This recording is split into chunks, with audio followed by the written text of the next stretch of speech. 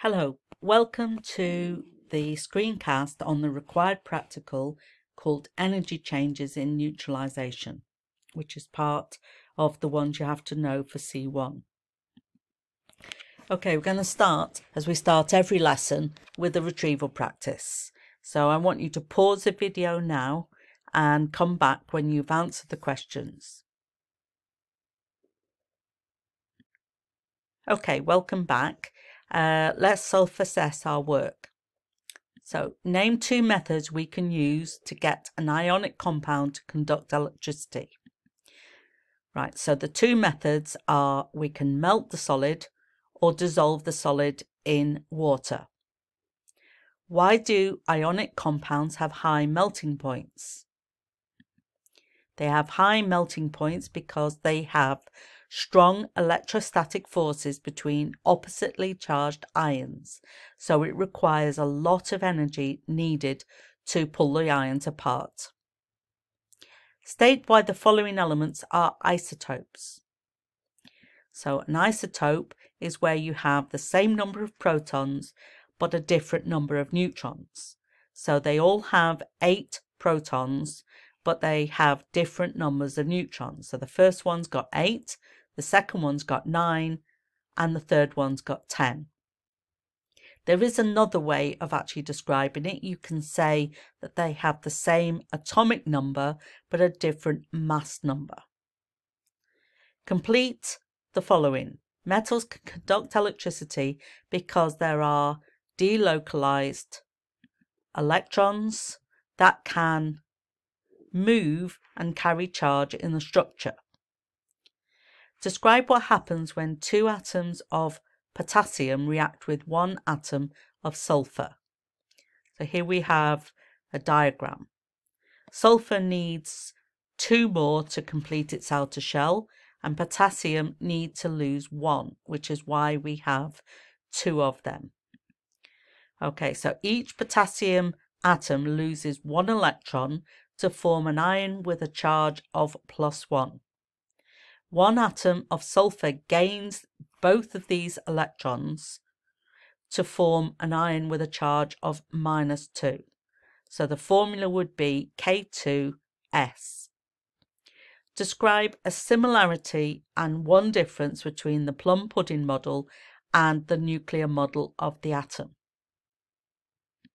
So both have positive and negative charges. Both of them are neutral overall. Differences no neutrons or protons in the plum pudding, no nucleus, electrons are not arranged in shells.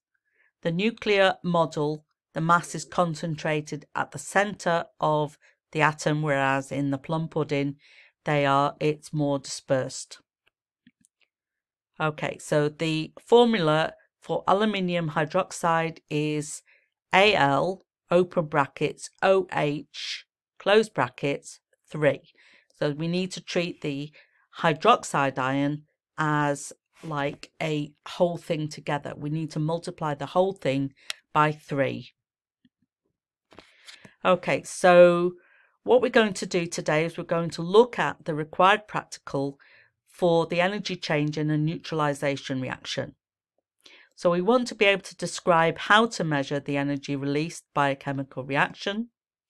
We want to be able to use data from a graph to determine the exact point of neutralization. And we want to be able to suggest sources of error in the investigation and explain how we can make improvements. Okay, so energy transfer in chemical reactions. We've done this in a previous topic Chemicals store different amounts of energy. During a chemical reaction, energy is transferred between the reaction mixture and the surroundings. Some reactions give out energy, they're exothermic, and some take in energy, they're endothermic. So the amount of energy transferred during a reaction is proportional to the temperature change of the reaction how could we measure the energy transfer in a laboratory? So what equipment would we need? What readings would we have to take? And how would we go about minimizing errors? Okay, so if we were investigating the temperature change in a neutralization reaction, right, so we've got an acid and a base, or an acid and an alkali, and we'll get a salt and water. When neutralization reaction occurs, it is an exothermic reaction. So what we're going to do is when we measure the highest temperature reached, this will be the point of complete neutralization because it means no more reaction is going to occur after that. So you are going to calculate how much alkali is needed to neutralize 2 molar hydrochloric acid by measuring the temperature when different volumes of alkali are added. So we're adding different amounts of alkali to a set amount of hydrochloric acid. So what is our independent variable? What are we changing in this reaction? We're changing the volume of sodium hydroxide because it says that we are adding different volumes. What are we measuring? What's our dependent variable? What will change when we add different amounts of, of sodium hydroxide? What are we measuring? We're measuring the temperature that it reaches. So what do you think we need to keep the same? In order to see the effect of the volume of sodium hydroxide on the temperature, what do you think we might need to keep the same?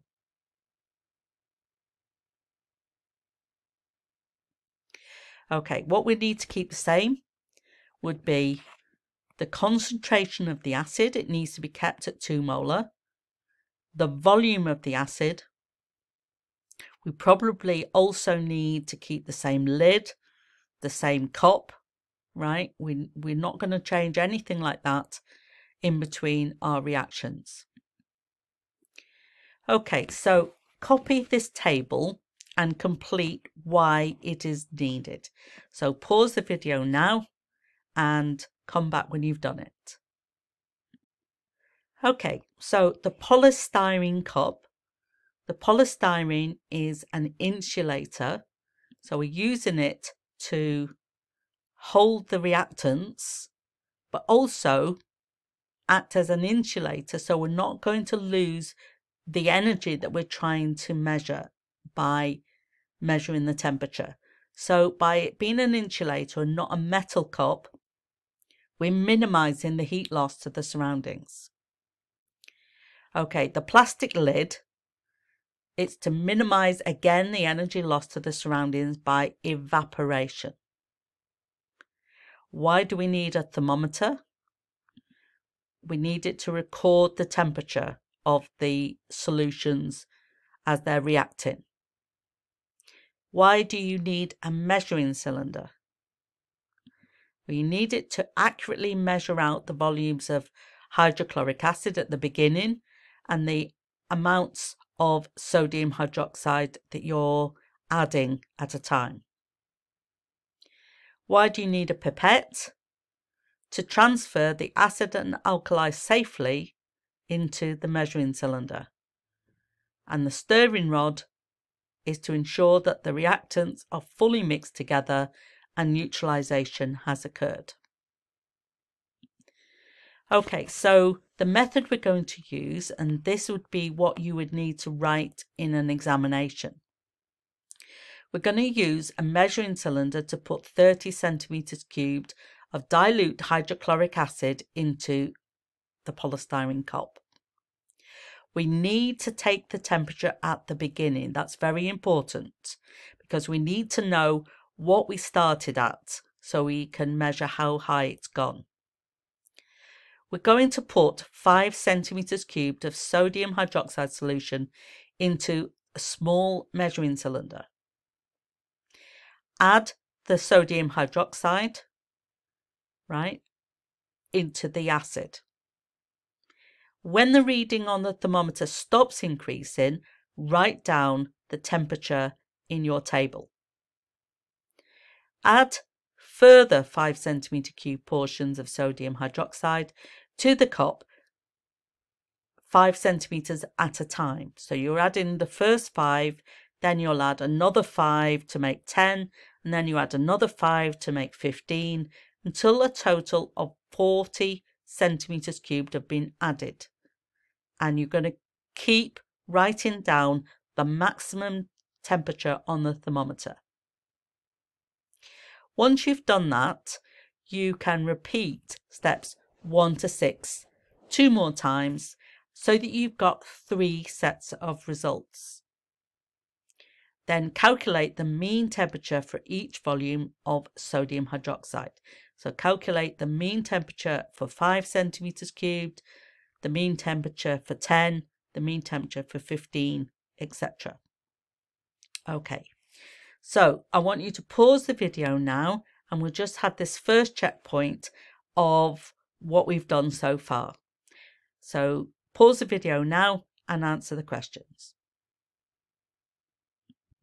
Okay, what is an exothermic reaction? An exothermic reaction is one that releases heat energy to the environment. What happens to the temperature in an exothermic reaction? The temperature increases.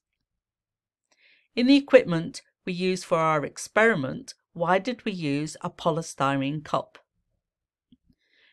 To hold the reactants and reduce heat loss as polystyrene is a good insulator. Why did we use a lid? To minimize the energy lost to the surroundings by evaporation. Why did we use a thermometer? To measure the temperature of the reactants. What were your control variables? Our control variables are the volume of acid, the concentration of acid, and the concentration of sodium hydroxide. How did you always make sure that they were kept constant? They were always kept the same. So how did we keep the volume of acid, the concentration and the um, concentration of sodium hydroxide the same? Well, the volume of acid, we controlled it using a measuring cylinder. The concentration of the acid and the concentration of the alkali, we used the same bottle. So we didn't change bottles. So therefore, if you're using the same amount, you're keeping the concentration the same. Name one risk in this experiment and say how you would minimize the effect of this risk. Now we're using acids and alkalis here. So you've known from year seven what we need to do, right? The risk, the sodium hydroxide and the hydrochloric acid are irritants. They are, can damage your skin. So if you get it on your skin, you need to wash it off. It can get into your eyes and be really, really quite serious. So in order to stop that, you would wear safety glasses. Okay, so that's our first success criteria. Now we want to look at the results and determine the exact point of neutralization. So here is a set of results obtained by a group uh, who did this experiment. So what I want you to do is calculate the mean maximum temperature for each volume of sodium hydroxide. Now remember in when you're doing that, that you need to add them up and divide by three, but only if you consider that each and every result in of the three are worth adding in. So there's none that are anomalous that don't fit in with the pattern. Okay, so you might need a calculator for this. So pause the video now, get yourself a calculator and calculate the mean values. Okay, welcome back. Uh, right, let's go through the mean temperatures. So the first one, I consider them all to be valid. So it's 20.7. You notice that I have done it to one decimal place, the same as the precision that is demonstrated in the results. The second one I am going to ignore that second trial because it's too large and I've got 24.3. If I was to actually put what it is in a calculator, it would come out as 24.25. But because I want to keep it to one decimal place, the same as the results, I'm going to round it up to 24.3. Right, the next one, 27.1, 29.0, 31.0. I'm disregarding that trial one and I've got 32.8, 32.4, 31.7 and 30.8. Now, when we get a set of results like this, we need to then draw a graph. Okay, so our x-axis will have our independent variable, the volume of sodium hydroxide added. And our y-axis will have the mean maximum temperature of the, the reaction Okay, so what unit should be on each axis? So what did we measure the volume of sodium hydroxide in? Centimetres cubed. And degrees C is what we measure temperature in. If you have graph paper at home, I want you to try and plot a graph of your mean maximum temperature from the previous page. Okay, and draw a smooth curve of best fit. Circle any anomalous results. So you can pause the video now and try and do that. If you haven't, right, you could try and sketch graph it.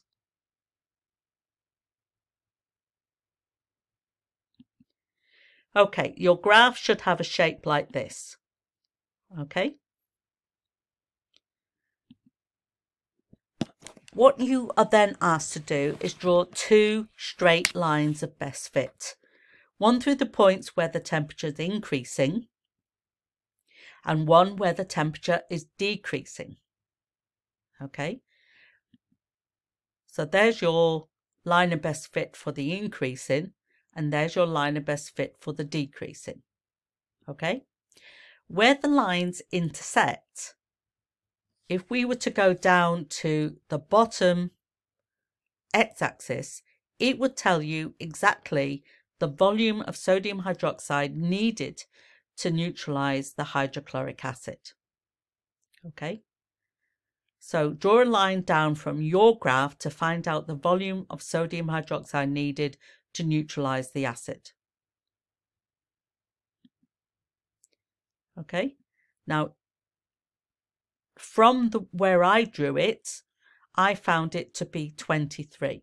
So the volume of sodium hydroxide needed is 23 centimeters cubed. You need to be able to describe how you do this, right? Uh, it's very unusual that you have to do two lines of best fit on any graph, but in this one, it does require you to do that. Okay, once we know how much alkali was needed to neutralize the acid, we can write a conclusion. So this is the conclusion that I would get. The volume of sodium hydroxide needed to neutralize the acid was 23 centimeters cubed. This is where the neutralization reaction stopped releasing energy. The temperature stopped rising, and so neutralization was complete. All the acid had reacted with the alkali. My results showed that the temperature kept rising until neutralization had fully occurred, and then the temperature began to decrease. I found that the exact point that my two lines of best fit intercepted was at 23 centimeters cubed. Okay. So that does require you to learn. It's a bit tricky trying to describe that, but it does need you to know the technique and what you have to do with the graph for the practical. Okay, so we're going to look at sources of error in the investigation and try and see if we can suggest improvements and explain how they would be better. Okay, so first of all, we could carry this out with other types of reaction. Okay, so you could do it with an exothermic reaction or an endothermic reaction. And you know what? The AQA could ask you to do this. So it may not be hydrochloric acid and sodium hydroxide. They could give you another type of reaction. So for instance, an acid and a metal is exothermic. So if it's exothermic, you're going to expect a temperature increase. Okay, so you could change the type of metal, the concentration of acid, the type of acid, the volume of acid, the mass of metal. But you would do the whole thing in the same way that we did this particular practical. You could do an acid reacting with carbonate. Again, it's exothermic, so you're going to get an increase. You're going to change the type of carbonate, copper carbonate, calcium carbonate, whatever. The concentration of acid, the volume of acid, the type of acid, the mass of carbonate. Any of those could be changed and investigated. A displacement reaction. Again, exothermic, so it's an increase in temperature, right? You could change the difference in reactivity of the reactants. So you could try reacting copper with magnesium, copper with zinc, copper with lead, copper with tin. Okay, you could change the mass and volume of reactants. You could do a different neutralization reaction. All right, so it doesn't have to be sodium hydroxide and hydrochloric acid. You could use um, potassium hydroxide and sulfuric acid. Okay, again, it's an exothermic reaction, so we're increasing in temperature, and you could change the concentration of acid, alkali, the volume of acid, the volume of alkali, etc. You could do an endothermic reaction. Okay, so citric acid and sodium hydrogen carbonate. In that case, you would be expecting a decrease. And when it stops decreasing, that would be the end of the reaction. We could change the mass of citric acid, the volume, the concentration of sodium hydrogen carbonate. So that is in case that the AQA decide to do the same required practical but with different substances. Okay. So the temperature change depends on the reactivity of the metal. A student wants to place copper, iron, magnesium and zinc in order of their reactivity. Okay, so suggest three pieces of equipment needed for the investigation and their purpose and describe a method to find the position of an unknown metal. Okay, I want you to pause the video now and come back when you've answered the question. Okay, so three pieces of apparatus needed for the investigation. Okay, you need any three from, you need a thermometer to measure the temperature, a polystyrene cup, a mass balance to measure the amount of metal, and a measuring cylinder. The method, okay, add all of the metals to an acid, one at a time, measure the temperature change and place the metals in order of temperature change. What you would keep the same was the volume of acid used, the concentration of acid used, the same starting temperature of the acid, and you must use the same mass of metal. Okay, here's another checkpoint to check your understanding. Okay, so pause the video now and come back when you've answered these questions. Okay, suggest three ways to improve the following apparatus to measure the energy change in a neutralization reaction and explain your answer. Okay, First one, use a polystyrene cup or an insulated cup. That would mean that all the temperature that you are measuring is from the reaction and you're not losing it to the environment. Use a lid to stop the heat being released and use less reactants to reduce energy loss. The temperature might get too high. The student adds sodium hydroxide to hydrochloric acid, but notices a smaller than expected temperature change. Suggest why. The heat might have escaped through the glass and it might have escaped through evaporation, so the temperature rise is not as high as it should be. The student adds ammonium chloride to different volumes of water. Why is the reaction endothermic? Well, the reaction's endothermic because we notice that the temperature has decreased, so energy has been taken in from the surroundings. Name two control variables for the experiment. The mass of ammonium chloride and water from the same source or use distilled water. Okay, so that is the end of this screencast on the required practical energy change. I hope you've understood it.